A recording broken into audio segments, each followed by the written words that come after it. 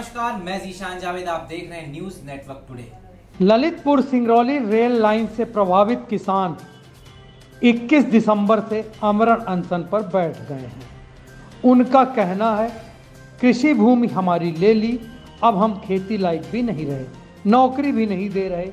Lalitpur Singrauli rail line से प्रभावित किसानों की समस्याओं का तत्काल समुचित निदान करने का किसानों ने प्रशासन से मांग की है। लेकिन किसानों की मांग पूरी होती दिखाई नहीं दे रही। किसानों का प्रदर्शन देखते हुए प्रशासन ने काफ़ी पुलिस बल इलाके में बुला लिया है।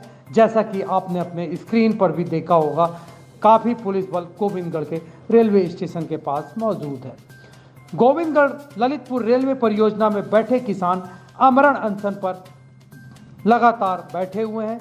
उन्हीं में से एक किसान रमेश शुक्ला का कहना है, हमारी तबीयत खराब हो गई और हम सीरियस हैं, डॉक्टरों ने धरना स्थल पर आकर उनकी जाँच की है और तत्काल उनको इलाज के लिए अस्पताल ले जाने के लिए कहा है। लेकिन वो अस्पताल जाने के लिए तैयार नहीं है। उनका कहना है, मैं अपने प्राण त्याग दूँगा, लेकिन जब तक लड़कों की नौकरी नहीं मिलेगी, मैं यहाँ से अस्पताल नहीं जाऊँगा। फिर चाहे मेरी जान ही क्यों ना चली जाए। अध्यक्ष कलेक्टर और पूरा प्रशासनिक अमला इसके लिए जिम्मेदार होगा। कई दिन बीत गए हैं, लेकिन प्रशासन का कोई नुमाइंदा अभी तक उनके पास नहीं पहुँचा है। माना जा रहा है, जिस तरीके से गोविंदगढ़ के किसान बैठे हुए हैं, उसी तरीके से ललितपुर से सिंगरौली तक के तमाम किसान लगातार इस बात को लेकर समय समय पर आवाज़ उठाते रहे हैं कि उनको नौकरी दी जाए, जैसा कि ज़मीन लेते वक्त कहा था। साफ़ तौर से, फ़िलहाल रीवा से गोविंदगढ़ तक के 20 किलोमीटर का काम पूरा हो गया है। रेलवे प्रशासन यहाँ ट्रेन चलाना चाहता है, लेकिन किसान अड़े हुए हैं, उनका कहना है, पहले मुआवजा, बाद में रेल।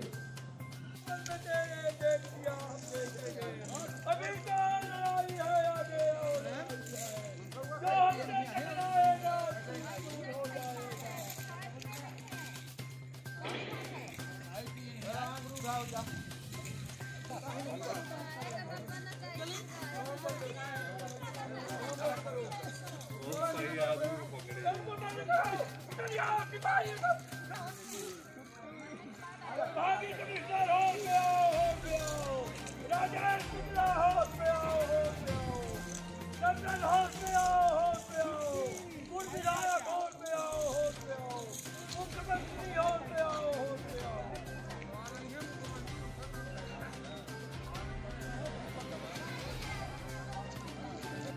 ताज़ा तरीन खबरों से जुड़े रहने के लिए हमारे चैनल को सब्सक्राइब करें और बेल आइकन दबाएँ और देखते रहिए न्यूज़ नेटवर्क टुडे।